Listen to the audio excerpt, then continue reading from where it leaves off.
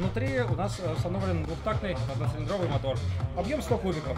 Таким мотором доска приводится в движение и может разгоняться до 60 км в час. Как говорит участник соревнований Санкт-Петербурга Михаил Кашифуддинов, научиться кататься несложно. Можно поехать за полчаса.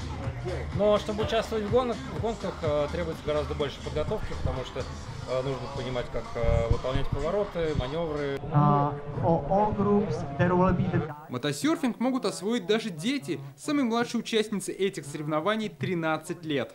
It's not that hard. Гоняться в принципе несложно, но это отнимает много сил и очень выматывает. Родоначальница мотосерфинга Чехия, и участников из этой страны больше всего на этих соревнованиях, и они главные фавориты. В Казань приехал действующий чемпион Европы Николас Блаха.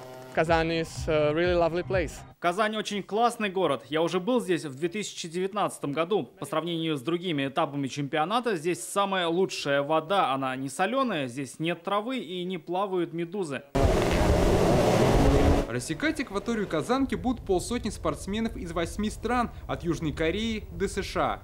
на вот эти ковидные годы это четвертая мировая серия, которая финиширует. То есть все мировые серии, которые либо хотели начаться, либо начали, но не завершили свой чемпионат.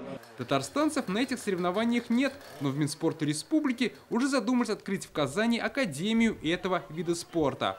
Попытаемся, вернее, давайте так скажу, э, в этом или в следующем году открыть академию по мотосерфу. И нам необходимо определиться с э, местом, так скажем, э, размещения этой академии. Мы рассматриваем три варианта. Сегодня на соревнованиях прошли тренировки, а завтра предстоят квалификационные старты. Финальные соревнования состоятся в День Республики 30 августа, начало в 12 часов дня.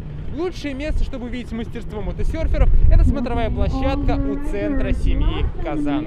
Дмитрий Аринин, Олег Мыльников, ТНВ, Казань. Закажи рекламу на ТНВ. Телефон в Казани 5 705 100.